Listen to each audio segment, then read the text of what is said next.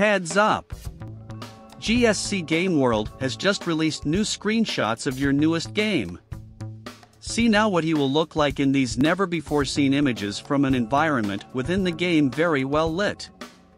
We can see how the scenery has a lot of details and is well done. Stalker 2, Heart of Chernobyl comes to Game Pass in Xbox Series, Windows 10 and cloud platforms by 2023.